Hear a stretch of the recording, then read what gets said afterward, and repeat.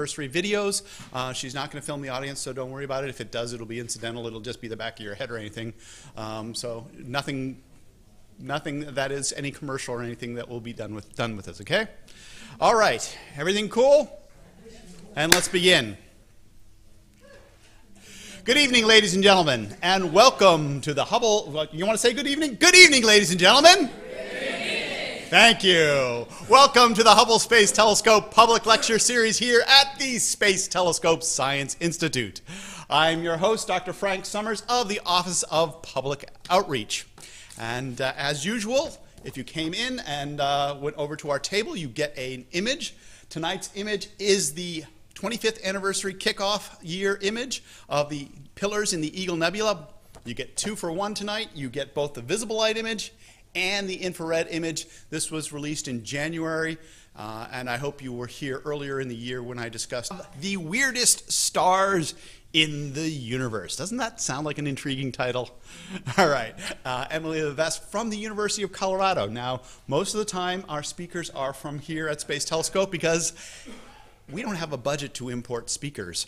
So she unfortunately was visiting the Space Telescope Science Institute, so we were able to get her to give a talk tonight. Let's see, our website for finding out about information about the talks. Um, if you go to hubblesite.org, go talks, or simply search Hubble Public Lectures, you will find us, the list of the upcoming lectures, information about the lectures, um, the information about uh, the observatory, um, and also, very important, this archive, which goes back 10 years now.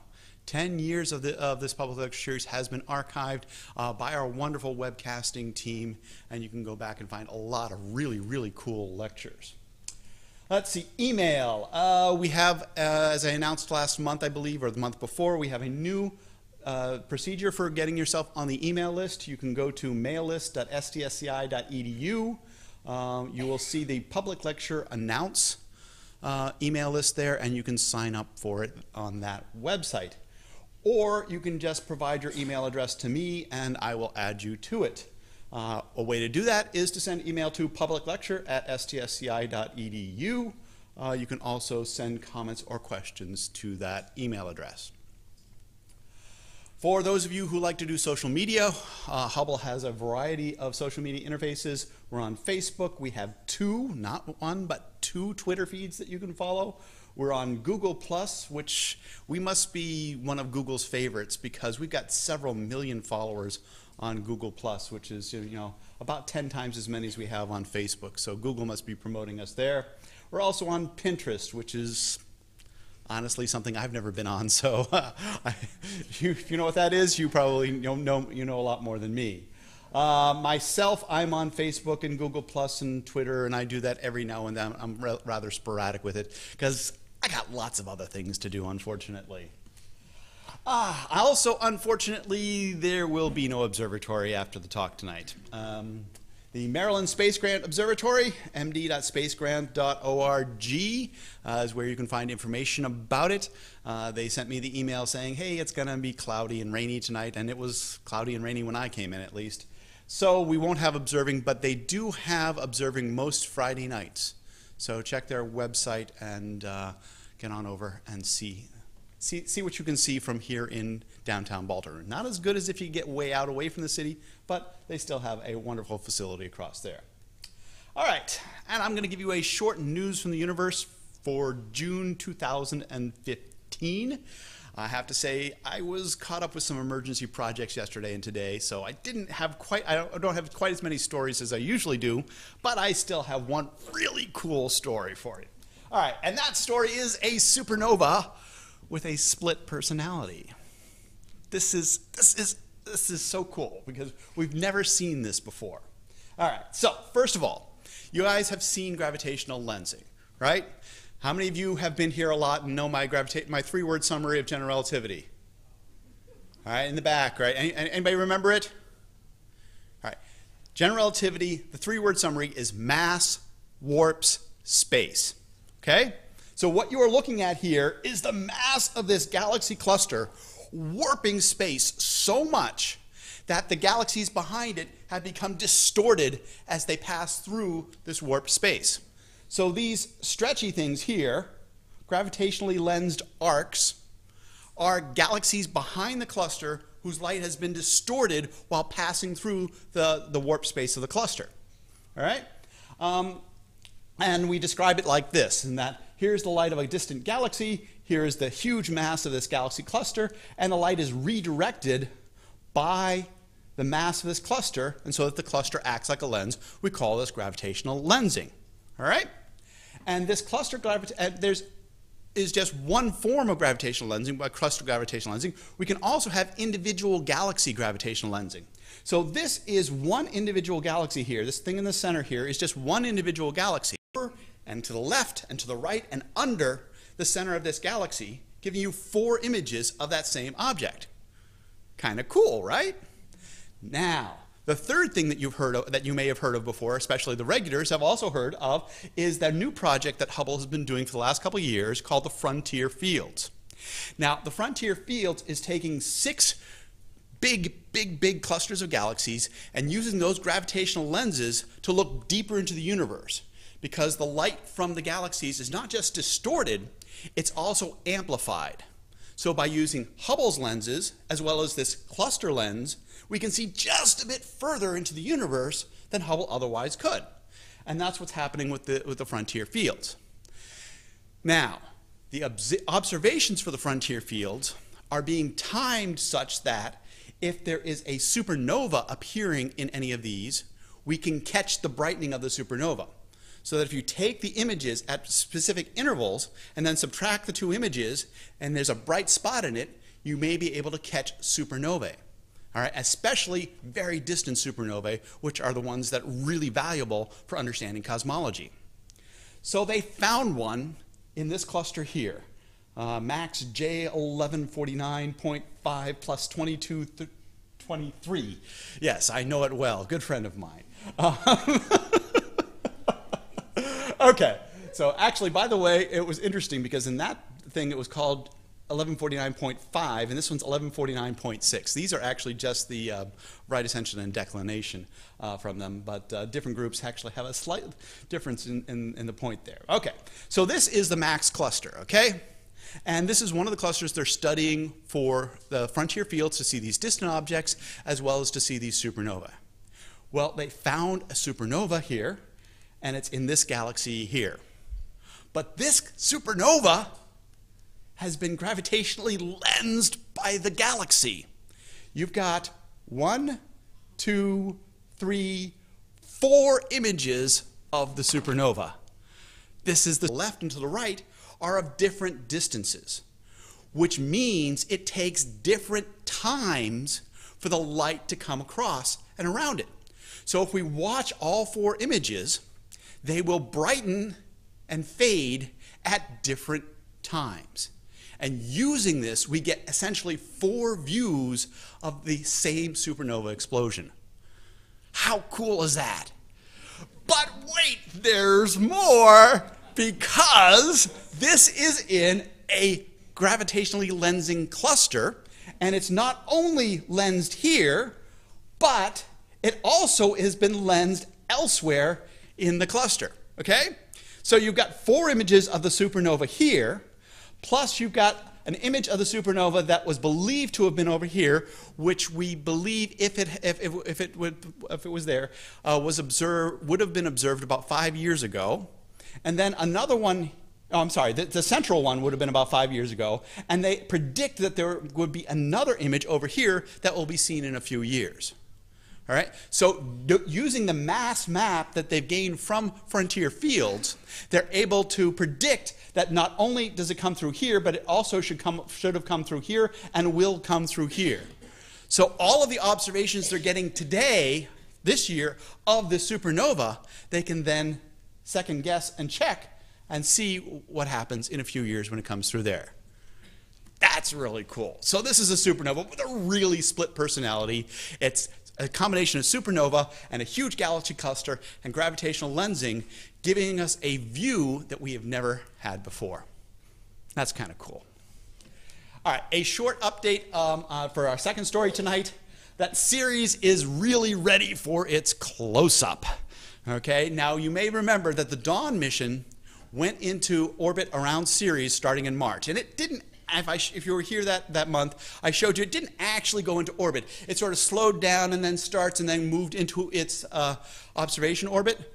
Well, it's now gone through its observation orbit and it's getting much more detailed images. So this is the kind of image that we were getting uh, pre the observation orbit, and this is the kind of image we're getting now.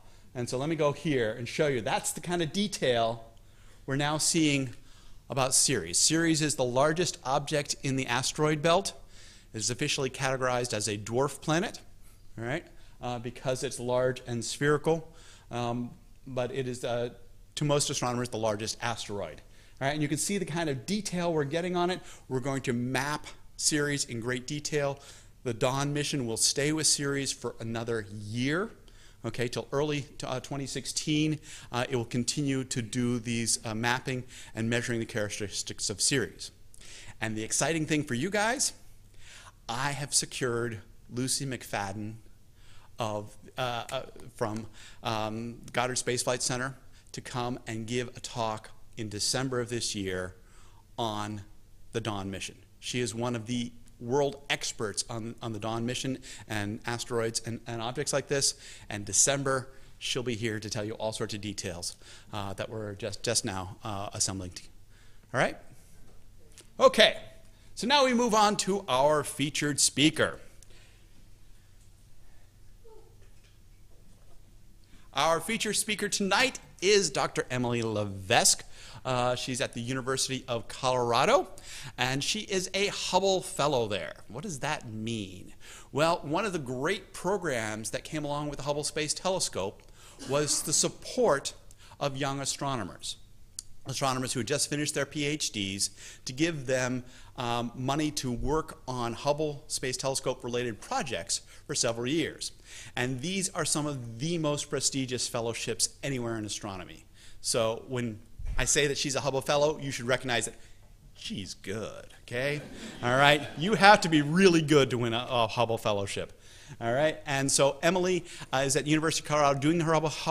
Uh, it's what, the, one of the cool things about the Hubble fellowships is that you can actually take them where you want. You can say, uh, you apply for Hubble Fellowship and you say, I want to do it at this university. And all you have to do is get the, uh, somebody at that university to sponsor you and say, yes, we'll accept them if they take a Hubble Fellowship. So you not only get money, but you also get your choice of where you want to do your research, which is really, makes these, these really, really cool. Uh, previously to that, she was at the Institute for Astronomy in University of Hawaii uh, doing her graduate work, and she did her undergraduate work at MIT. So if you aren't impressed by that, you just don't know what you're talking about. Ladies and gentlemen, Dr. Emily Levesque.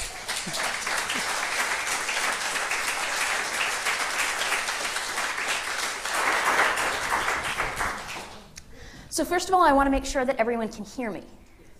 I realize that question is totally useless if the answer is no, but good to know. So I'll be talking to you tonight about the weirdest stars in the universe. Somebody coming in asked me what the criteria is for calling a star weird. How do you establish that something is unarguably weird? And you could really make the argument that many, many stars in our universe are weird in some way. I'm trying to go for the very strangest and most bizarre stars of them all. And I think to start off and to sort of establish what we mean by weird, it's helpful to talk about what we would call a normal or garden variety star. So this diagram that I'm showing is a very common diagram used by professional astronomers. It's called the Hertzsprung-Russell diagram, and it gives us a quick and easy way of describing almost any star that we observe in the universe. We plot temperature on the horizontal axis. To the left is very hot and to the right is very cold. And on the vertical axis, we plot luminosity, or basically how bright the star is. So if you know a star's temperature and if you know a star's brightness, you can figure out where it lands somewhere on this diagram. So we can take our sun, which has a temperature of about 5800 Kelvin, and it has a brightness of about one solar luminosity. Surprise, it's the sun. And we can drop it right here. So you notice our sun is sitting in kind of a crowded place, and it's sitting with a bunch of other stars on this diagonal line that runs straight through the middle of the plot. This is what we refer to as the main sequence for stars. When stars are born and when they start burning hydrogen, and while they spend a good portion of their lifetime burning hydrogen, they all land somewhere along this main sequence. So, a main sequence star is something that you can think of as maybe a pretty normal star. And a smallish star like our sun would also be considered fairly normal. What I'm going to talk about tonight are stars that live up here at the top of the Hertzsprung Russell diagram. These are stars that are much more massive than our sun. They are at least eight times the mass of our own sun. And something that's going to be a little bit of a theme tonight that you'll notice is that astronomers are pretty literal when it comes to giving things names. So we call these massive stars. They're much more massive than the sun. There we go. I always like to try and point out some good examples of massive stars that you can find when you're stargazing on a beautifully clear night like tonight, but maybe sometime soon when you can actually see the sky, we can talk about some examples of massive stars that you can find. When a massive star begins its life and lands on that main sequence and is burning hydrogen, we call it a blue supergiant. And a great example of one of these is Spica in the constellation Virgo. Now, Spica is much, much hotter than our sun. It has a surface temperature of about 22,000 Kelvin. Remember, our sun was about 5,800. It's much hotter than the sun. It's about seven times the physical size of the sun, and it's ten, it was 10 times as massive when it was born. So, Spica is a great example of a blue supergiant. Another example of a star that's a little further along is one of the stars that you'll see making up the summer and it's about 200 times the sun's size right now. So stars will hang out over on the blue hot side of the HR diagram for quite a long time. They'll sit there burning hydrogen. But eventually the stars run out of hydrogen and switch over to burning helium. When this happens, they very rapidly run across the Hertzsprung-Russell diagram as they cool off and as they start to expand. Stars actually spend a really short period of time in this little yellow region of the diagram. We actually call that the yellow gap because stars only spend about 100,000 years as yellow supergiants. It sounds like a long time, but when stars live millions and millions of years, it's really just a blink. Yellow supergiants are kind of rare because they don't last very long. You have to be catching them at exactly the right time. So, something I find kind of amazing is that Polaris, our North Star, is actually a great example of a yellow supergiant. This is almost exactly the same temperature as our sun, but it started out with eight times the sun's mass, and it's about 46 times the physical size of the sun. So it's a great example of this really fleeting stage in stellar evolution. Then finally, once a massive star has finished this trip across the Hertzsprung-Russell diagram, it will end up as what we call a red supergiant. And we have another great example of one of these in the night sky right now. In the constellation Scorpius, which you can find if you look for these two next close to each other stars in the scorpion's tail and then follow the curve around, you'll see a great example of a red star named Antares. So Antares is much colder than our sun. Its surface is about 3,400 Kelvin, but it was 13 times the mass of the sun when it was born, and here's the impressive thing about Antares it is 700 times the physical size of our sun. To try and put that into context, this is a little PowerPoint drawing of what Antares looks like. And that's the planet orbits in our solar system. If you dropped Antares where our sun is, it would reach out past the orbit of Mars. So this sounds tremendous. This sounds very large and like it would justifiably be called a very weird star. But as it turns out, we've found stars that are much, much physically bigger than this. And to explain why, I want to talk a little bit about how we study how stars evolve and a kind of interesting puzzle that we had to answer about red supergiants. So I described how massive stars evolve, talking about how they start on the blue, burning hydrogen, they switch to burning helium, they scoot across the HR diagram, and they wind up as red supergiants we can actually trace out this journey that the stars take.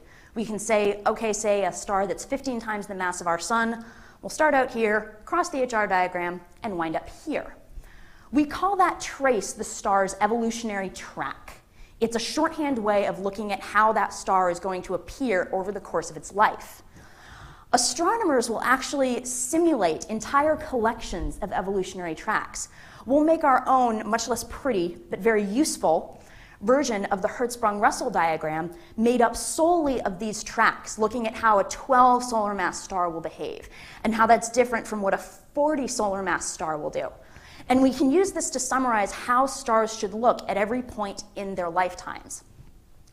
These are all generated by computer models. So a good way to test a computer model is to drop a bunch of models on a diagram and then grab actual observations of stars and see if the two match up. So about 15 years ago, people started doing this for red supergiants and dropping red supergiants that had actually been observed on the Hertzsprung-Russell diagram. So it's, eh, it's not quite right. You can see that the red supergiants don't quite land where we want them to land. They're just a scotch too far to the right. Remember, the x-axis goes from hot on the left to cold on the right. So these red supergiants look too cold. They're landing in this region of the diagram to the right of the evolutionary tracks. And in this region, stars are not supposed to be able to exist.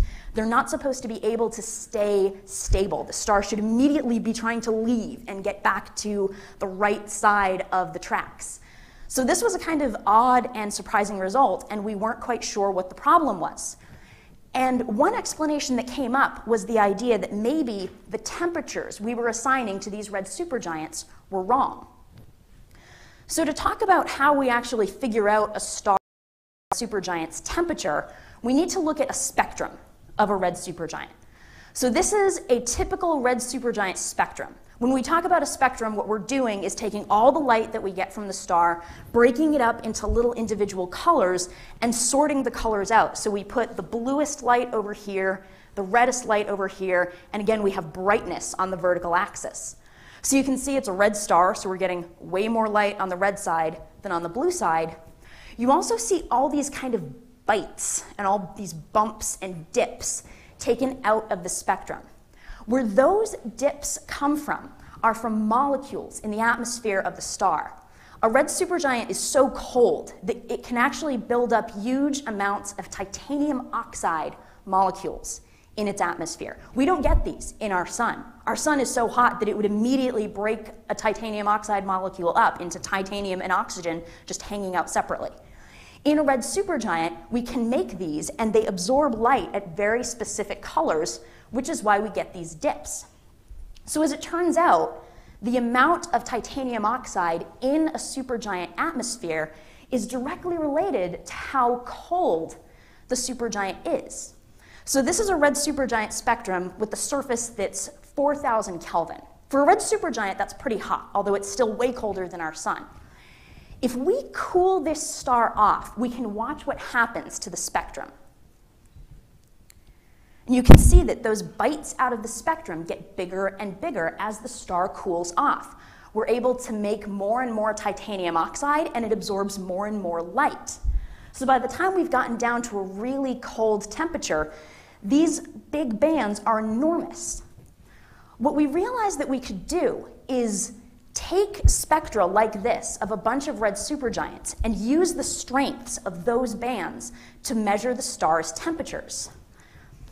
This was actually the very first research project that I did while I was an undergraduate student. I spent a summer at Lowell Observatory in Flagstaff, Arizona. I was working with Dr. Philip Massey on this project to redetermine temperatures for red supergiants. So the very first part of my project was going to Kitt Peak National Observatory down in southern Arizona. They actually let me open the dome of the two meter telescope. So this is me at 19. You can't tell, but I'm freaking out because they're letting me operate a two meter telescope. And I got to enjoy wonderful beginner's luck and have five perfect, clear, cloudless nights in a row on the telescope that let us get a bunch of spectra of red supergiants. We got all of the data, we analyzed all of the data, and we measured new temperatures for every single star. And then it was time to test what we'd actually done. So this, remember, was where red supergiants used to sit as compared to these computer models of how stars evolve. That was what they looked like before our project, and this was what they looked like when we were done. Yeah, so you can see that the agreement is now perfect. They sit exactly where we want them to. And this was a super satisfying result. This is a great thing to do if it's your very first research project. And we got really excited and we started to write the paper to publish what we'd found. So we knew the temperatures of the stars and we knew their luminosities. And there's a really common equation that you see used in astronomy. This is an equation relating the luminosity of a star to its temperature and its size. And from the research we were doing, we had almost all of this information already. We knew the luminosity of the star. We know what 4 and pi are because they're constants. Sigma is actually another constant, the Stefan Boltzmann constant, so we knew values for all of those. And we had measured the star's temperature. So the only thing that was left was to figure out the star's radius. We didn't know it right away, but we do a couple algebra rearrangements of the equation, and we can measure radius. Ta-da! So we sort of measured this as a matter of routine. We figured, well, we can, so we might as well. We'll put it in the paper, that'll be neat. And we started making a list of all of our stars, all of their temperatures, and all of their sizes. That's the number of times bigger the star is than the sun. And we were totally not paying attention to this column at all. We thought this was the really cool part. And it finally took one of our collaborators to email us and say, I don't know if you've looked at these radii, but some of these numbers are pretty impressive. And as it turned out, we had, by accident, discovered three of the largest stars that anybody knew about in the known universe. I showed you this graphic before of how Antares compared to the orbits of the planets in our solar system. Antares reached out to a little bit past Mars. This was the biggest star that we found. It reaches most of the way to the orbit of Saturn if we put it where our sun is. So I think that undeniably makes KY Cygni, not a terribly catchy name, but pretty good, a pretty weird and unique star. So I've been talking about red supergiants in this big puffed up stage near the end of a star's lifetime, but as we already heard about earlier tonight, um, I'm pretty sure you all know what happens after something is a red supergiant. It explodes. this is the point where we stop talking about stars and start talking about core collapse supernovae. So once a star has reached the end of its life, we see it create this amazing fireworks show that we see as a supernova. And it's good to talk about exactly how supernovae work and how something like this happens. So the image that I have up now is a cross section of a massive star, and you can see that it's made up of layers of different elements. It looks like an onion that you cut in half. What happens is that a star will start out burning hydrogen in its core. It'll be burning hydrogen. This will exert a sort of outward push that counteracts the inward push of the star's gravity. So it helps the star hang on to this sort of delicate balance between gravity pushing in and the energy from burning hydrogen pushing out. Now, eventually, the star, while burning hydrogen, will make helium. Eventually, it'll go, well, hey, I'm out of hydrogen, but there's all this helium around. Awesome. And start burning helium instead. And the star will go through burning progressively heavier and heavier elements for shorter and shorter periods of time. It will burn helium, it will burn carbon. Stars will spend about three days at the very ends of their lives burning silicon. And everything is going great, and that balancing act is being maintained up until the star tries to burn iron. So, burning helium or hydrogen or carbon or any of those elements produces energy. But to burn iron, you need to take energy.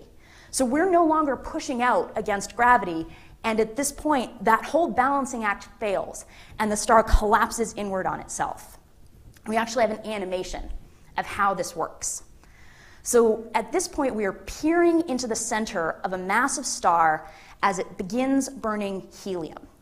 Now, as it goes along, you'll watch the colors in the video change as it shifts to burning carbon or neon or oxygen, you'll see that brief period of it burning silicon, and then when it tries to burn iron, the balancing act of the star fails and the star collapses. You see a quick collapse followed by this amazing rebound that we see here on Earth as the fireworks show of a core collapse supernova. It's fun to see an animation of one of these, but it's actually just as cool to see what one actually might look like. This is a cave painting from Chaco Canyon in New Mexico. And what we think the painting is showing is a daytime moon shown here and this thing just to the left. We think that that is a depiction of a supernova that happened in the year 1054. This supernova got so bright that it was visible during the daytime for two weeks. You would have seen it in the sky sitting right next to the sun. It's definitely something worth painting on a cave about. So we think we have a record of it from New Mexico. Chinese astronomers have records of it. They referred to it as a guest star because it appeared for a while and then it left. It was recorded by Japanese astronomers, by astronomers in Iraq. And today we know exactly what this was. This was supernova 1054 that left behind what we know now as the Crab Nebula. It's one of the famous, beautiful images from the Hubble Space Telescope. So, this was a very nearby event to Earth. This was a star exploding in our own galaxy about 6,500 light years away. This was a great fireworks show. We would have seen it, like I said, during the day for two weeks. Most supernovae aren't quite this dramatic, and you saw some images of what supernovae look like a little earlier tonight, but I have another example for you here. These are some beautiful amateur photographs of M51. The first one is from January of 2005. And I'm going to flip to an image from July of 2005. You'll notice that the image will get a little bit brighter, and you'll see something else change as well. Did anybody see it? Let me see what changed. I'll do it again. Yeah, yeah see the little boop that appears just about 6 o'clock under the center of the galaxy? That's a supernova. That's an enormous explosion of a star that's many, many times the mass of our sun. We see it as this little bing that shows up in a distant galaxy. That's supernova 2005 CS. What's even cooler is we have another image of this galaxy from June of 2011, and we got another supernova over here. 2005 CS is gone, it's faded away, but we now have supernova 2011 DH. So again, astronomers were pretty boring and practical a lot of the times when it comes to giving things names. When we name a supernova, we name it based on the year that we saw it and how many supernovae there have been in the year. So the first supernova of 2011 would have been 2011A, and then B, and then so on. And then when you get down to 2011Z, you just go back and start adding more letters. So you wind up with 2011AA, and so on. So if I'm getting it right, this was the 112th supernova that we had seen in the year 2011. I can see somebody counting, trying to figure out how many letters we can get through.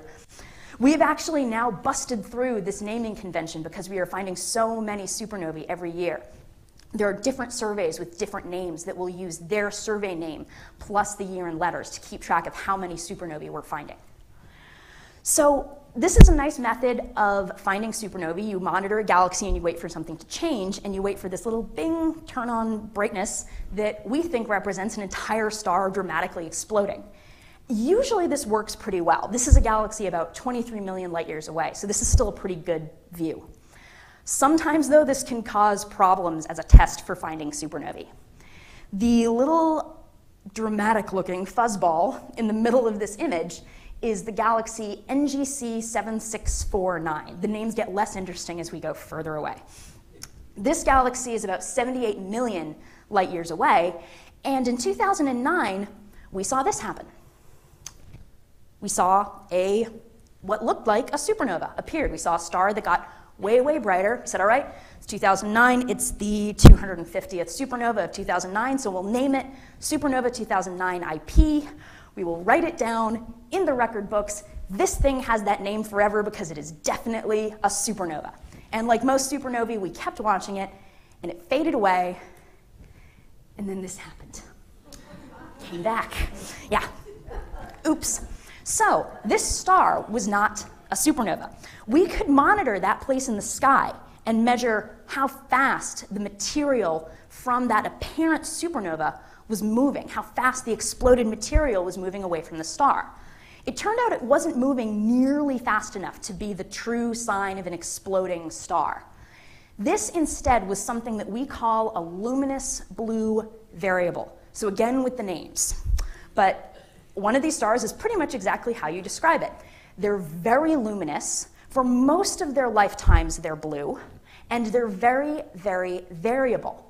What we think is that these are stars much, much more massive than our sun 40, 50, 60 times the mass of our sun that are nearing the ends of their lives and going through an unstable period in their evolution. They periodically erupt and throw off huge amounts of mass, sometimes over and over again. And we really still don't quite know why. We think that it might maybe be an attempt for the star to remain in equilibrium, we're not sure. But when a star does that, it will brighten and then dim again and resemble a supernova. Some people actually call these imposter supernovae.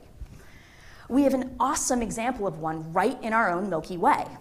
This is the star system. There are actually two stars in there named Eta Carinae.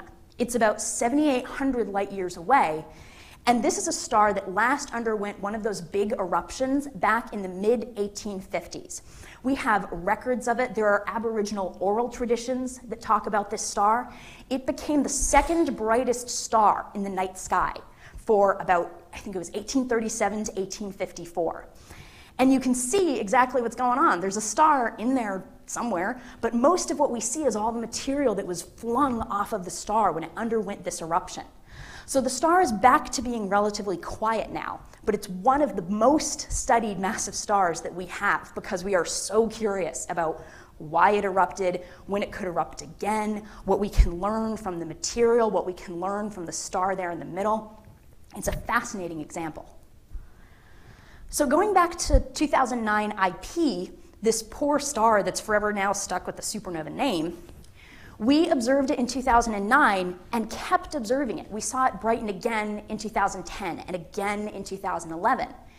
In 2012, we actually saw it produce what would have been the most dramatic eruption yet. It got way, way brighter. We measured the speed of the material that was flung off, and it was incredibly fast. And we think that it might have actually exploded in 2012 but we're not sure. So, I mean, you would think that a star that's like 50 times the mass of the sun exploding in a fiery death would be a pretty obvious thing to, you know, did it happen or did it not happen? And it's really not, because all we get is the little blip from the star. This is one of the most interesting questions in supernova astronomy right now, and there are active campaigns to try and search this galaxy and see if the star really has disappeared or if it's just sitting there very dim, waiting to maybe erupt again someday. So those all count as weird stars, stars that pretend to be supernovae but aren't. And we've talked a lot about how supernovae actually happen. So now we can move on to what happens after a star goes supernova. I showed you this before. This is the Crab Nebula, the supernova remnant from the star that exploded in the year 1054. And you get all these beautiful colors from the Hubble Space Telescope, but there's one other piece of the remnant that you can't see in this image. Somewhere in the center of that remnant is something called a neutron star. Neutron stars are the leftover husk of a massive star after they have gone supernova, undergone core collapse, flung off this material. This is what is left of the star itself. Neutron stars are incredibly small. I was talking about stars that you know cover the orbit of Mars or cover most of the way out to the orbit of Saturn. A neutron star is about the size of the city of Baltimore. They're tiny. They're also unbelievably dense. If you were to take a teaspoon of a neutron star, that teaspoon of material would weigh more than Mount Everest. And it's this extreme nature of the star that actually lets it work. Neutron stars are made, like the name suggests, entirely of neutrons. The reason that these stars even work are actually thanks to a principle of quantum physics. It's called the Pauli exclusion principle, and it's a rule that basically says that two neutrons, for example, that are in the same quantum state, two neutron stars that are just like each other, do not like being too close together. They can't occupy the same space if they're in exactly the same quantum state. So, what it really means is as the star was collapsing and getting denser and denser and tighter and tighter, all of these neutrons were getting squeezed very close to one another, and they eventually started acting like you do on a crowded train. They started going, No, we hate this. We don't like being close to one another. This is terrible. And pushing back against that inward squeeze of gravity. This is called neutron degeneracy pressure. And it's so powerful that it's actually able to support the star. So it's a whole star supported by quantum physics instead of hydrogen burning or helium burning or any of the things that we see in stars while they're still alive. We had predicted neutron stars for a long time. They were predicted back in the early 1900s, but we didn't know for sure that they existed until we detected a specific type of neutron star called a pulsar. So, pulsars are rapidly rotating neutron stars with very strong magnetic fields. We know that Earth has magnetic fields and magnetic poles, that's how our compasses work. Neutron stars and pulsars do too. What they do is they actually emit a beam of electromagnetic radiation along their magnetic poles. So they're emitting beams at one end and the other, and they're spinning very, very fast. So this makes them look like they're flashing or pulsing. This is how we named them pulsars. A good comparison for how this actually works, uh, people will use lighthouses periodically, but with the advent of GPS, lighthouses are becoming less popular. I like using the example of an emergency light on top of, say, a fire truck. If you look at these lights closely, a lot of them will be two bright lights beamed out to either side on something that makes them rotate. So when you spin the two beams of light, the effect that you get is flashing. So the next time you see a fire truck or something with its emergency lights on, think of, no, first pull over if you're in a car, and then think about how that is basically exactly what's happening in a pulsar. So a pulsar is actually spinning faster than this, usually. Something that is the size of the city of Baltimore will be rotating tens or hundreds of times every second. But it means that they give off a very specific observational signature that we can detect. And it means that we now have evidence that neutron stars actually exist. There's a star like this in the center of the Crab Nebula, and it's this little piece of star that's left over after a massive star has died. So they definitely count as weird stars. So I talked about neutron degeneracy pressure and how it can support a neutron star up to a certain point. Once a star gets too massive, or once a neutron star gets too massive, it will collapse into something that's infinitely small and infinitely dense. We heard the primer on general relativity earlier tonight. Mass bends space. So if you have, have an infinite amount of mass, in an infinitely tiny space, that is how we get a black hole. It bends space time so much that we get a region with incredibly strong gravitational influence. Not even light can escape from it, hence the name black hole. The problem with this is that it makes illustrations or images of black holes like it doesn't really work for a public talk because there's nothing really there. So what we can take advantage of is something like this idea of gravitational lensing that we talked about. We can't see a black hole itself, but we can see what it does to the objects and the light around it. And we can get some help from Hollywood. We can go into the realm of artists' renditions. And now we have an amazing black hole thanks to the movie Interstellar. So there's many different, we have, there's like one person that was like, yeah. so there's many different ways to make black holes. We have supermassive black holes that form at the centers of galaxies. We can make a black hole when we just pile too much mass onto a neutron star. Or we can make them when a very massive star, 20, 25, 30 times the mass of our sun, undergoes core collapse. That core will collapse straight, we think, into a black hole. What makes some of these weird, even by the standards set by black holes, which are all pretty weird to begin with, is that sometimes when a massive star collapses to form a black hole, we get something else happening as well. We get a bright and brief flash of gamma rays that we know as a gamma ray burst. We still don't understand exactly why gamma ray bursts happen, but we have a pretty good guess, and I have an animation of what that guess is. So this is another example of a massive star that's about to die. This is 30 or 40 times the mass of our sun, and this star is also rotating very rapidly. When that star collapses, it will make a rotating black hole in the center of itself. That black hole will start devouring the star from the inside. As that material is being pulled into the black hole, it ignites these jets that you see coming out either side of the star. Those jets are moving so fast that they emit gamma ray radiation. Eventually, the entire star has been blown and this whole thing ends with that same explosive supernova that we saw from a normal star collapsing and dying and making, say, a neutron star. We actually found these in a kind of interesting way. Also, first of all, I want to show that video again and point something out. This is a star that's 40 times the mass of our sun. This is an animation of the star dying. But this animation is happening roughly in real time. Gamma ray bursts last maybe two seconds to several hundred seconds. This one is maybe 30 seconds. That's how long it takes for this entire star to get consumed by the black hole that it has made and then detonate. So yeah, black gamma ray bursts do not last long. It makes them kind of hard to study. And how we originally discovered them is actually kind of funny. This is an illustration of the Vela satellites that were launched into orbit in 1967 following the signing of the Nuclear Test Ban Treaty. So the job of these satellites was to sit and monitor the planet and look for a flash of gamma rays that would indicate that somebody was violating the, the treaty and performing a nuclear test. And the satellites worked awesome. They found gamma ray bursts everywhere. And fortunately for world peace and all of humankind, none of them were coming from Earth. They instead found bursts of gamma rays coming from all over the sky. And for years, we had no idea what these could possibly be.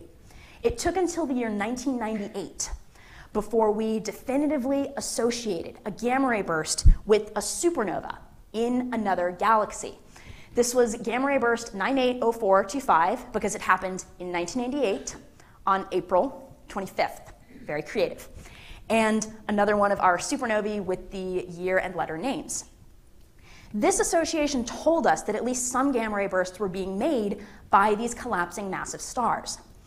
We now have missions that are specifically designed to look for and alert us to new gamma ray bursts. This is the SWIFT spacecraft. It was launched back in November of 2004, and what it does is not very dissimilar to what the Vela satellites do, did.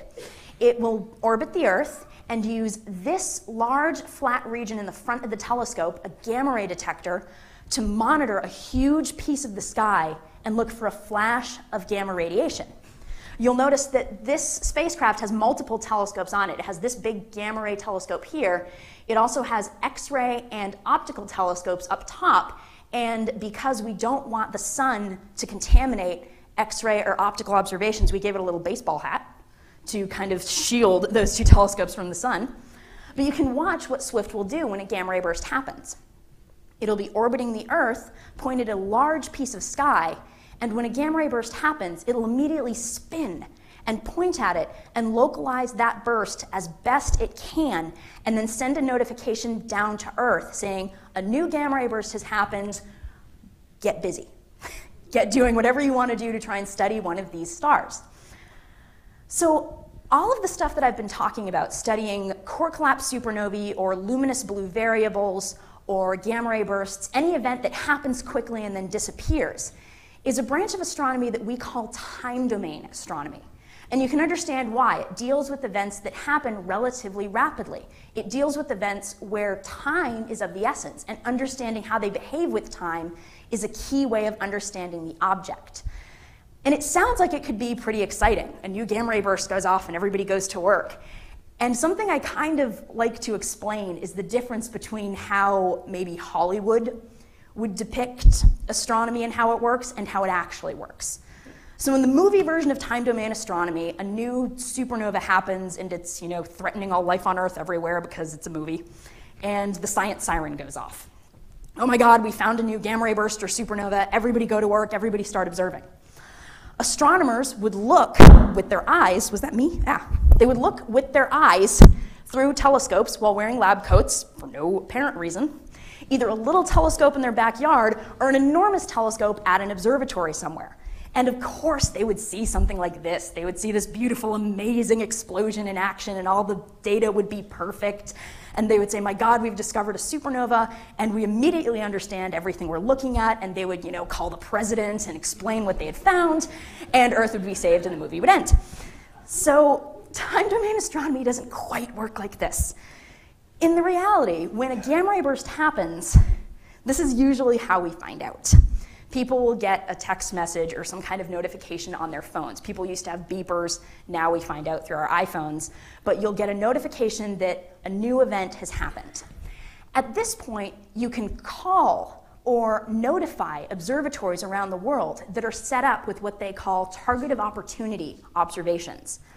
You can contact someone like the Keck 10 meter telescopes, this pair of beautiful telescopes on the top of Mauna Kea in Hawaii, and say, We have a new supernova or a new gamma ray burst that we want to observe.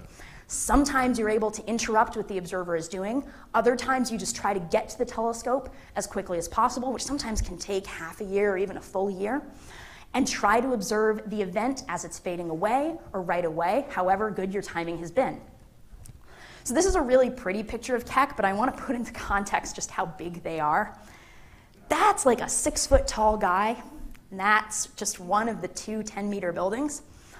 So when a telescope is this big, you're not unfortunately looking through it. I don't even think they've made an eyepiece for Keck. This is what it looks like when you're observing at a telescope like Keck. This is a picture of my workstation from one of my visits to Keck, and you can see all the different things that are going on. We have many computer screens giving mechanical information about the telescope, um, charts for what I want to observe, a night log where you keep track of every exposure and everything that's happening.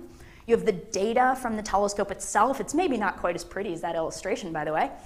The, the status of the telescope, where it's pointed, the weather, the notes that you're taking on your own laptop when you're not on the internet. I've got this little to a remote control labeled operator because this desk is not at the Keck telescopes. It's not even on the mountain. It's down at sea level in a completely different part of that Hawaiian island. And the operator is on a little television screen that I'm talking to via a teleconferencing tool. He's sitting up at the telescope, and I'm down on the ground. And then finally, there's a very important observing tool, my Kindle, because while you hope that every single observing night looks like this, Occasionally, you get nights that look like this. this is a real picture that I took. That is the view from this telescope to this one. And when you can't see the gazillion story building right next to you, your odds of looking at a supernova that's hundreds of millions of light years away are not good.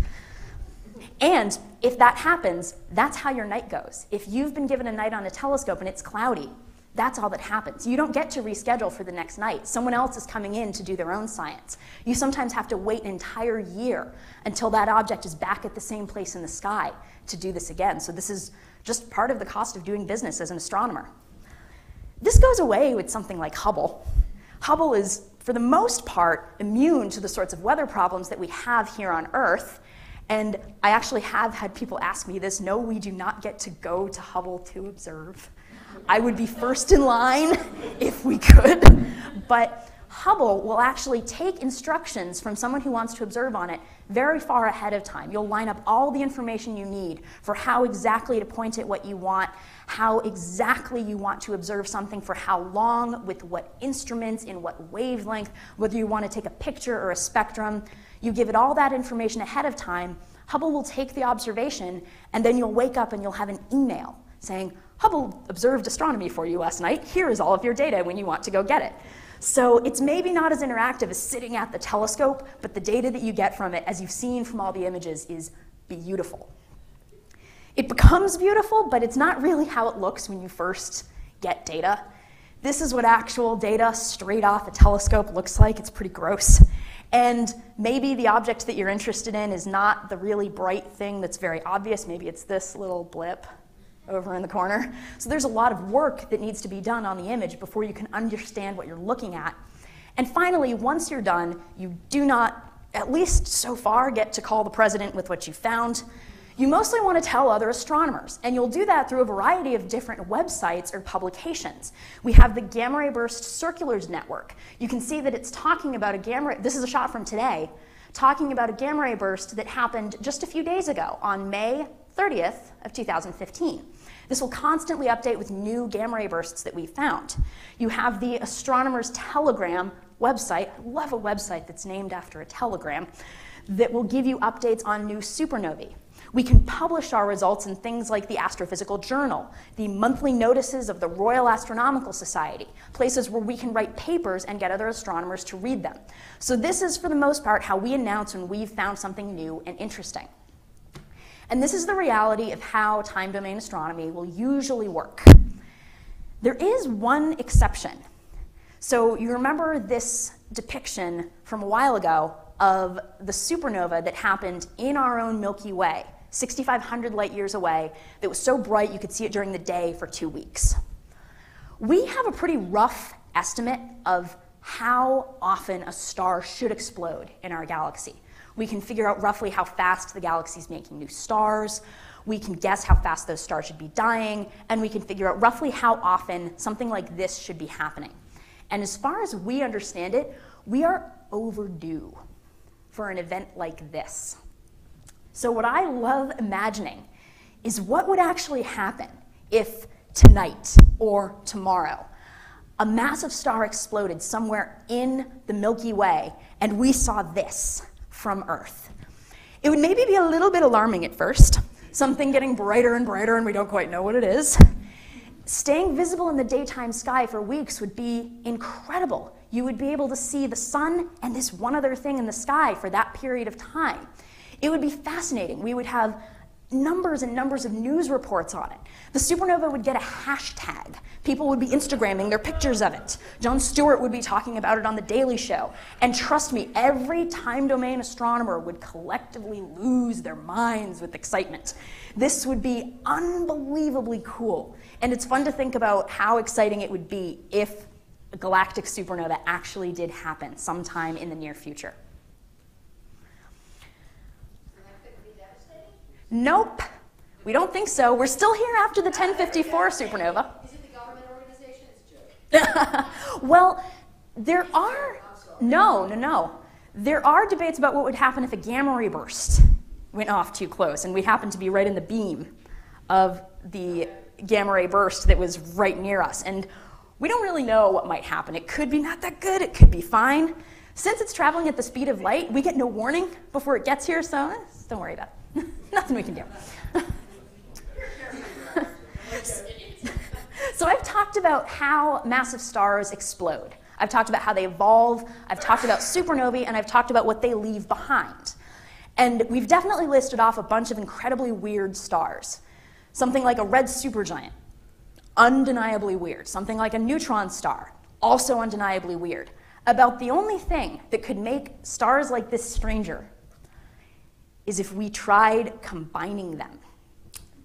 So, to explain what this is, I need to go back to the research that I was doing on red supergiants about 10 years ago. I started doing this work in 2004 and kept working on it for years. And like I said, we weren't calling the president with our results, but we were writing papers and sending them out to the community. And one day, in the midst of doing this work, my collaborators and I got a really interesting email and the email started out years ago, Kip Thorne and myself invented theoretical models of stars, went on to describe these stars, and then asked if we would be interested in looking for them. And this was an email from a woman named Anna Żytkow in the UK. This described a completely new type of star that she thought we might be interested in looking for. And these are called Thorne Żytkow objects after Kip and Anna. They predicted these stars back in the 1970s.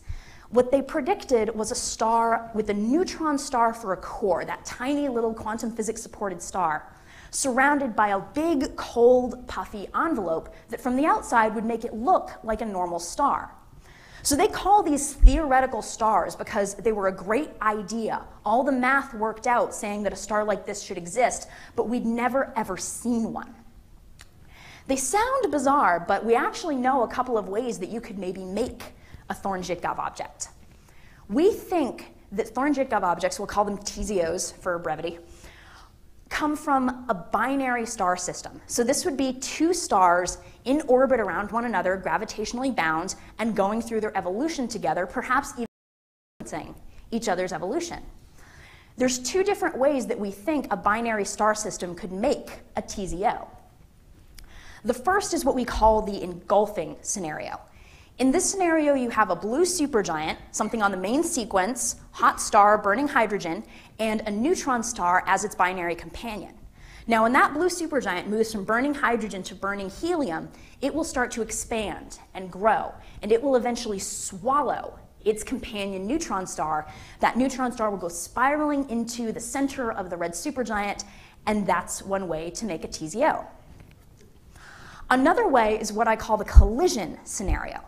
In this case, you have a red supergiant and a higher mass companion. So the more massive a star is, the shorter its lifetime is. So the more massive star will go supernova first. That massive star will go supernova and make a neutron star. So when we do the little illustrations of supernovae, we typically imagine the whole star just going and doing this. In reality, they're never perfectly symmetrical. You'll always have a little bit of asymmetry somewhere in the explosion, and what it'll do is kick the neutron star in a particular direction.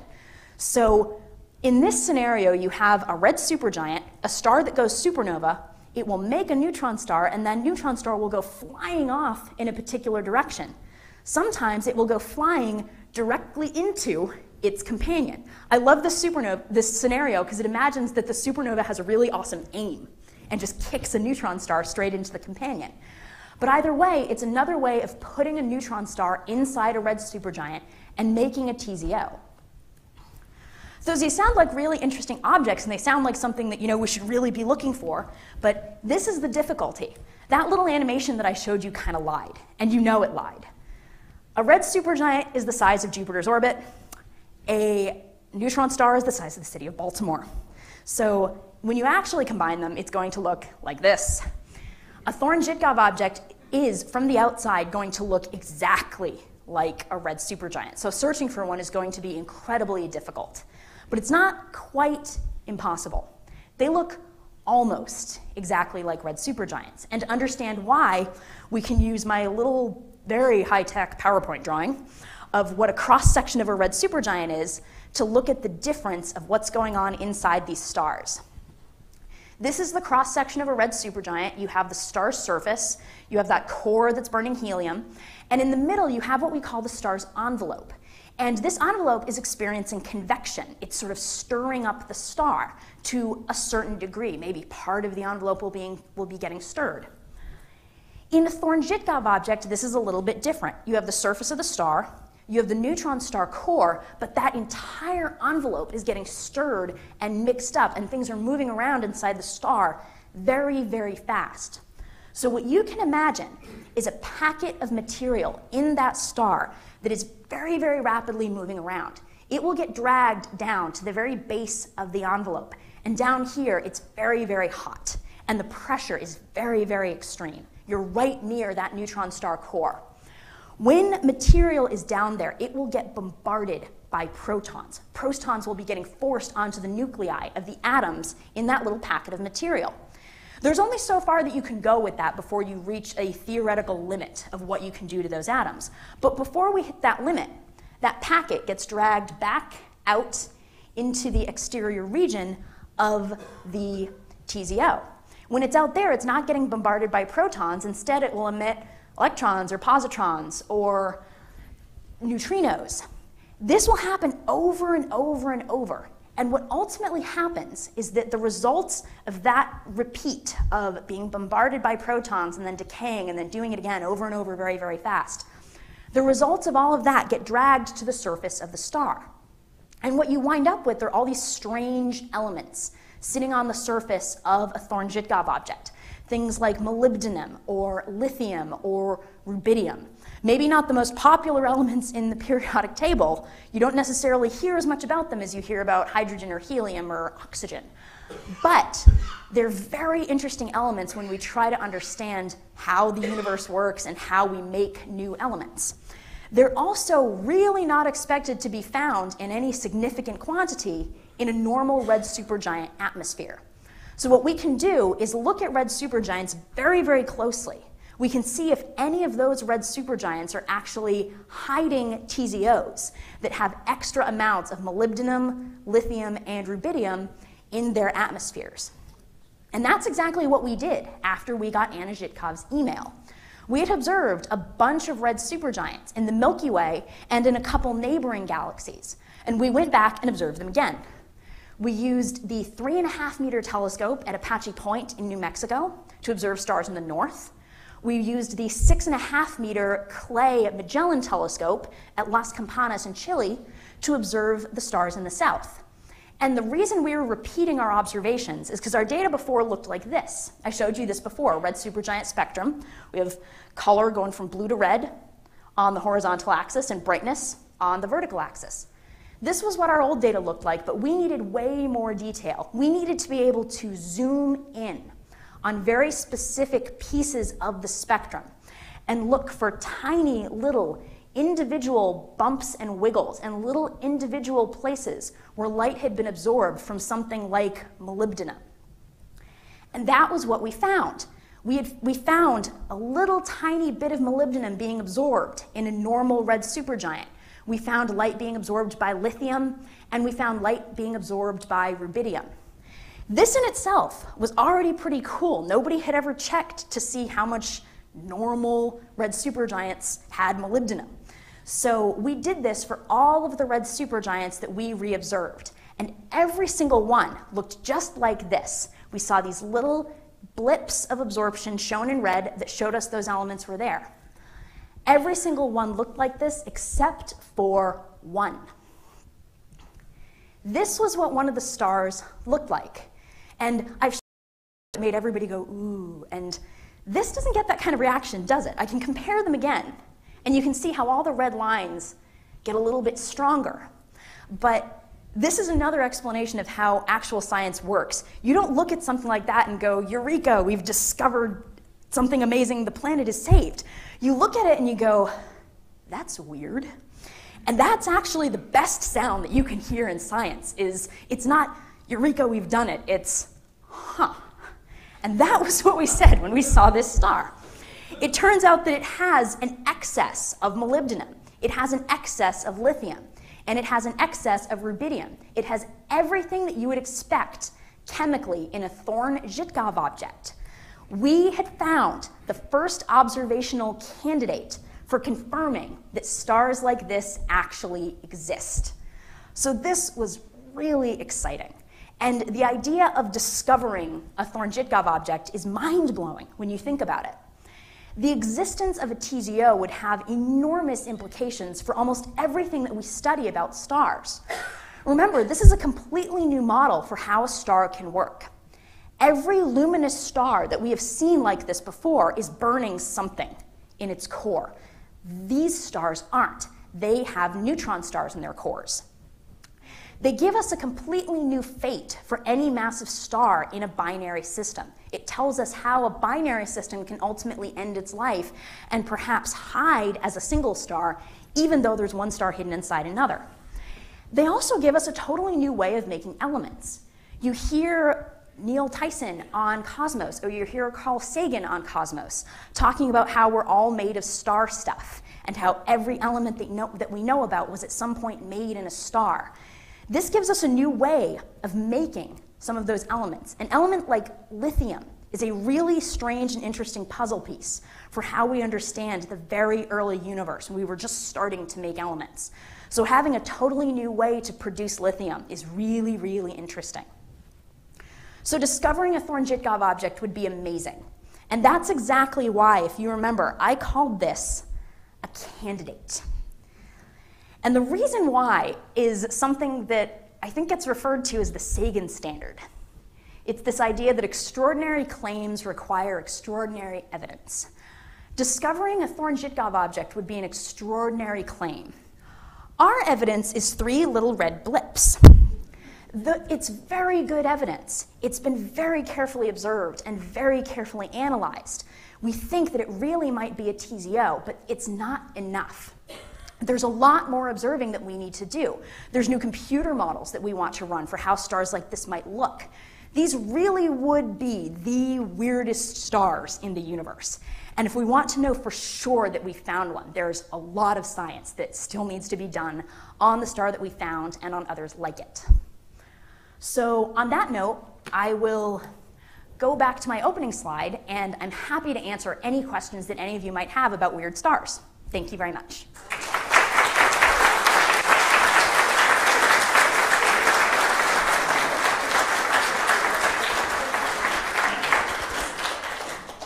Thank you. That was wonderful. Um, it, uh, Thorne-Żytkow objects uh, take us to a place that we had never really experienced before. Yeah. So that's a that's a great thing to, to finish on.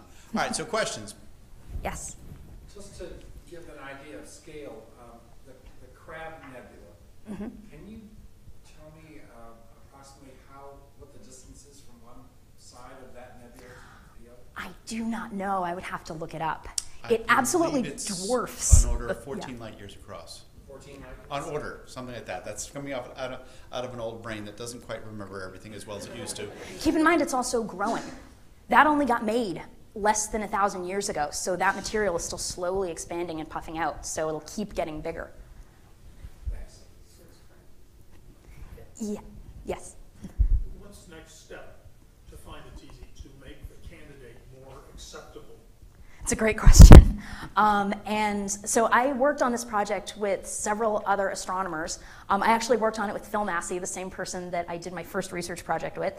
I worked with Anna Żytkow and with an astronomer in Chile named Nidia Morrell. And all of us are now kind of investigating our own ways to confirm or refute that that's a Thorne-Żytkow object. I know that Anna is working on getting more observations of other stars like it to see if we can find others. Something that I'm really interested in doing is working with computer modelers. We haven't really modeled what a Thorne-Żytkow object should look like in about 20 years, and computers have evolved a lot. So we're hoping that we can get new predictions for what else we might see. We're hoping that maybe they'll predict that it'll emit X-ray light, or that there will be a magnetic field that we can see some signature of. We really don't know. But as we get more predictions, then we can turn around and say, point Hubble at it, point Keck at it, point whatever we need. But I'm waiting to see what we learn with new computer models about how they should really look. And, you know, I think that emphasizes one of the sea changes in astronomy in that you can work from computer models to observations, uh, ground-based observations to space-based observations. The number of avenues you have for exploring these problems really is, has, has grown. Uh, Yeah. You're at, you're at a great time in astronomy. They feed back and forth on each other too. When we moved those red supergiants and we changed their temperatures, people doing new models of stellar evolution used what we'd observed as a sort of benchmark to make sure that new models agreed with what we'd seen. So it goes back and forth all the time. Because usually observers would look at those computer models and say they don't match observations. Well, obviously the computer models are wrong. And that's what we did for a long time. We said, oh, it's wrong, blame, blame the computer people. And then they kind of came back saying, no, you really need to check what you're observing too. I saw that you had a question. I'm sorry, there's someone, someone behind you. He's had his hand up since the beginning. Antares or Betelgeuse uh, ready to go off anytime now? Are they uh, full size? We don't yet have a good diagnostic for when a star is about to explode.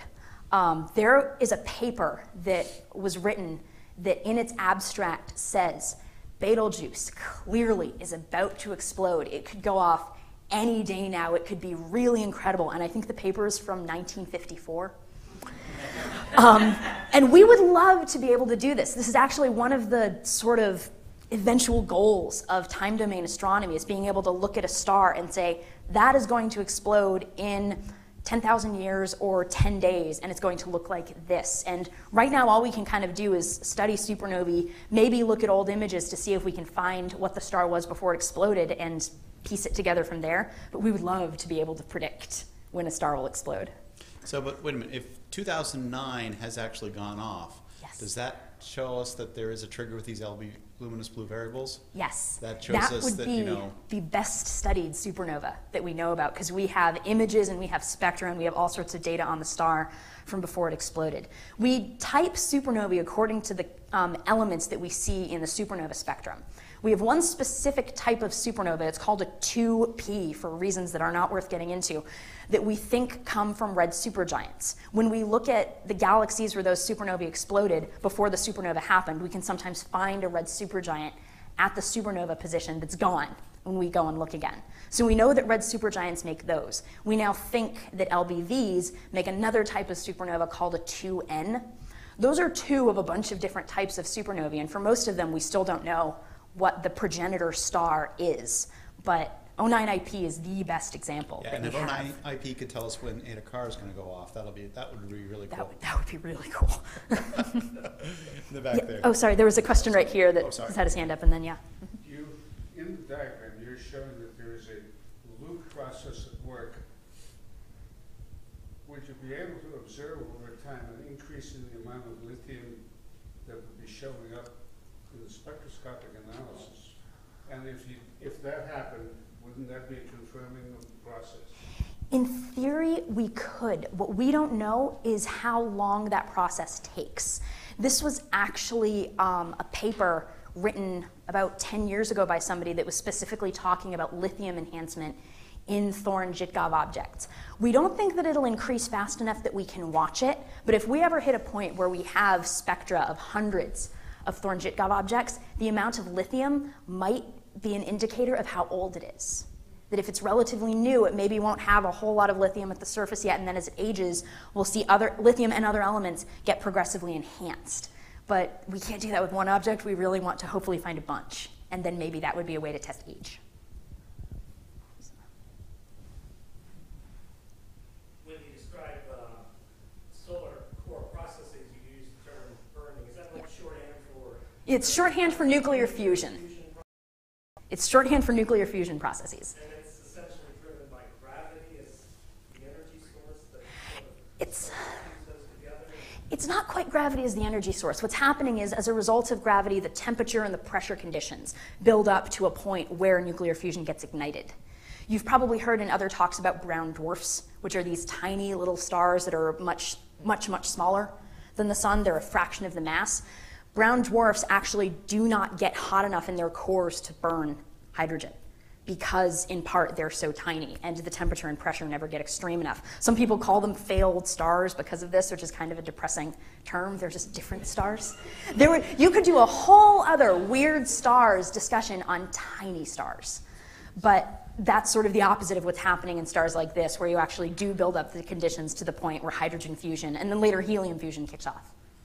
Right. We sometimes refer to stars as gravitationally confined nuclear fusion reactors. So the gravity is, is, is not the proximate cause, but it is one of the contributing factors. Other questions? Question on the supernova that could be nearby that you say most astronomers, astronomers would be excited about. Um, is there a possibility that a close supernova could adversely affect circadian rhythms, like on Earth for an extended period of time, or eliminate nighttime? Yeah. I've given this talk a bunch of times and I've never gotten that question, and it's fascinating. It could. It's interesting to wonder what it would do. I, I don't know that it would impact human circadian rhythms. It would still get much darker at night. We don't think that it would be as luminous as the sun. It would more be like having a second moon, probably. But it's interesting to think about what it would do to other animals that are more sensitive to changes in light. Like, I have no idea what it would do to an animal with really solid night vision. Or animals, for example, that see in polarized light, something like bees actually see polarized light. And I don't know what the light from a. We, people study the polarization of light from supernovae, and maybe it'll really mess with the bees. I don't know. But that's a really interesting question. And, and it's intriguing because we know how the animals react when we have solar eclipses. And that if you've ever experienced, one of the cool things about experiencing a, a solar eclipse, and by the way, August 2017, put it on your calendar, total solar eclipse coming straight across the United States. Must see it. It's the best one in your lifetime. Okay. Um, we know how animals react as, to, as, as it just starts to feel like dusk is setting, you know, even though the sun is high in the sky. Um, so the opposite of adding extra light. You imagine there would maybe stressed animals that sleep when it's dark, and really well rest animals that don't. But that's a that's a super interesting question. Other questions? All right, if not, we will see you next month, Tuesday, July 7th, if I've got it right. Four, five, six, that should be Tuesday, July 7th. Uh, let us give Emily that. Thank you one more time.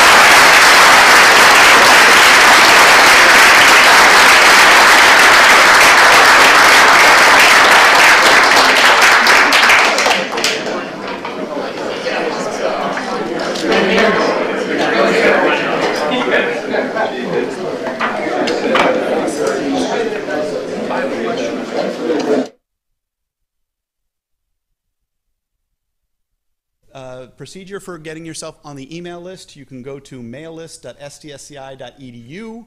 Um, you will see the public lecture announce uh, email list there, and you can sign up for it on that website. Or you can just provide your email address to me, and I will add you to it. Uh, a way to do that is to send email to publiclecture at stsci.edu. Uh, you can also send comments or questions to that email address. For those of you who like to do social media, uh, Hubble has a variety of social media interfaces. We're on Facebook. We have two, not one, but two Twitter feeds that you can follow. We're on Google Plus, which we must be one of Google's favorites because we've got several million followers on Google Plus, which is you know about 10 times as many as we have on Facebook. So Google must be promoting us there. We're also on Pinterest, which is honestly something I've never been on. So I, you, if you know what that is, you probably know, know you know a lot more than me. Uh, myself, I'm on Facebook and Google Plus and Twitter, and I do that every now and then. I'm ra- rather sporadic with it because I got lots of other things to do, unfortunately. Ah, also, unfortunately, there will be no observatory after the talk tonight. Um, the Maryland Space Grant Observatory, md.spacegrant.org, uh, is where you can find information about it. Uh, they sent me the email saying, hey, it's going to be cloudy and rainy tonight, and it was cloudy and rainy when I came in at least. So we won't have observing, but they do have observing most Friday nights. So check their website and uh, get on over and see see, see what you can see from here in downtown Baltimore. Not as good as if you get way out away from the city, but they still have a wonderful facility across there. All right, and I'm going to give you a short news from the universe for June 2015. I have to say, I was caught up with some emergency projects yesterday and today, so I didn't have quite, I don't, have quite as many stories as I usually do, but I still have one really cool story for you. All right, and that story is a supernova with a split personality. This is, this is, this is so cool because we've never seen this before. All right, so first of all, you guys have seen gravitational lensing, right? How many of you have been here a lot and know my, my three-word summary of general relativity? All right, in the back, right? Any, anybody remember it? All right. General relativity, the three-word summary is mass warps space. Okay? So what you are looking at here is the mass of this galaxy cluster warping space so much that the galaxies behind it have become distorted as they pass through this warped space. So these stretchy things here, gravitationally lensed arcs, are galaxies behind the cluster whose light has been distorted while passing through the, the warp space of the cluster. All right? Um, and we describe it like this, in that here's the light of a distant galaxy, here is the huge mass of this galaxy cluster, and the light is redirected by the mass of this cluster, and so that the cluster acts like a lens. We call this gravitational lensing. All right? And this cluster there's is just one form of gravitational lensing, by cluster gravitational lensing. We can also have individual galaxy gravitational lensing. So this is one individual galaxy here. This thing in the center here is just one individual galaxy. And to the left and to the right and under the center of this galaxy, giving you four images of that same object. Kind of cool, right? Now, the The third thing that you've heard of, that you may have heard of before, especially the regulars have also heard of, is that new project that Hubble has been doing for the last couple of years called the Frontier Fields. Now, the Frontier Fields is taking six big, big, big clusters of galaxies and using those gravitational lenses to look deeper into the universe. Because the light from the galaxies is not just distorted. Three videos. Uh, she's not going to film the audience, so don't worry about it. If it does, it'll be incidental. It'll just be the back of your head or anything. Um, so nothing, nothing that is any commercial or anything that will be done with done with this. Okay. All right. Everything cool? And let's begin. Good evening, ladies and gentlemen, and welcome to the Hubble. You want to say good evening? Good evening, ladies and gentlemen. Thank you. Welcome to the Hubble Space Telescope public lecture series here at the Space Telescope Science Institute. I'm your host, Dr. Frank Summers of the Office of Public Outreach. And uh, as usual, if you came in and uh, went over to our table, you get an image. Tonight's image is the 25th anniversary kickoff year image of the pillars in the Eagle Nebula. You get two for one tonight. You get both the visible light image and the infrared image. This was released in January, uh, and I hope you were here earlier in the year when I discussed the weirdest stars in the universe. Doesn't that sound like an intriguing title? All right. Uh, Emily Levesque from the University of Colorado. Now, most of the time, our speakers are from here at Space Telescope because we don't have a budget to import speakers. So she unfortunately was visiting the Space Telescope Science Institute, so we were able to get her to give a talk tonight. Let's see, our website for finding out about information about the talks. Um, if you go to hubblesite.org, go talks, or simply search Hubble Public Lectures, you will find us, the list of the upcoming lectures, information about the lectures, um, the information about uh, the observatory, um, and also, very important, this archive, which goes back 10 years now.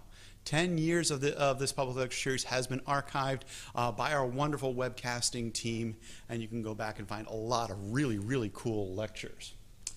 Let's see, email. Uh, we have, uh, as I announced last month, I believe, or the month before, we have a new of the same supernova explosion.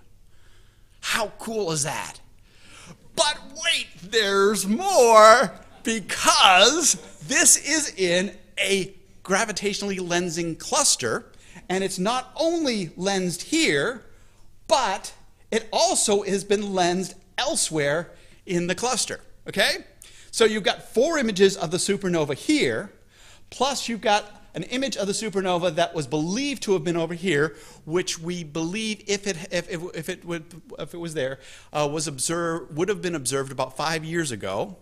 And then another one, oh, I'm sorry, the, the, central one would have been about five years ago. And they predict that there would be another image over here that will be seen in a few years. All right, so using the mass map that they've gained from frontier fields, they're able to predict that not only does it come through here, but it also should, come, should have come through here and will come through here. So all of the observations they're getting today, this year, of the supernova, they can then second guess and check and see what happens in a few years when it comes through there. That's really cool. So this is a supernova with a really split personality. It's a combination of supernova and a huge galaxy cluster and gravitational lensing, giving us a view that we have never had before. That's kind of cool. All right, a short update um, uh, for our second story tonight. That Ceres is really ready for its close up. Okay, now you may remember that the Dawn mission went into orbit around Ceres starting in March, and it didn't. If, I, if you were here that, that month, I showed you it didn't actually go into orbit. It sort of slowed down and then starts and then moved into its uh, observation orbit.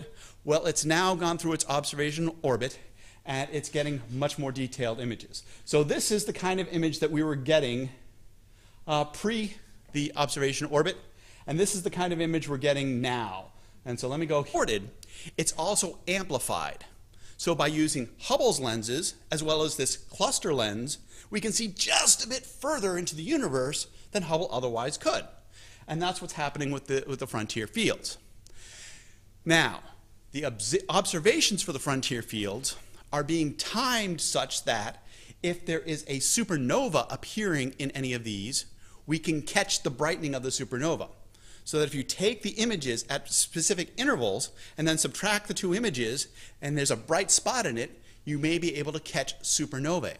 All right, especially very distant supernovae, which are the ones that are really valuable for understanding cosmology. So they found one in this cluster here, uh, MACS J1149.5 plus 22, th- 23. Yes, I know it well. Good friend of mine. Um, okay, so actually, by the way, it was interesting because in that thing it was called 1149.5, and this one's 1149.6. These are actually just the uh, right ascension and declination uh, from them, but uh, different groups actually have a slight difference in, in, in the point there. Okay, so this is the MACS cluster, okay? And this is one of the clusters they're studying for the frontier fields to see these distant objects as well as to see these supernovae. Well, they found a supernova here, and it's in this galaxy here. But this supernova has been gravitationally lensed by the galaxy. You've got one, two, three, four images of the supernova. This is the left and to the right are of different distances, which means it takes different times for the light to come across and around it. So if we watch all four images, they will brighten and fade at different times. And using this, we get essentially four views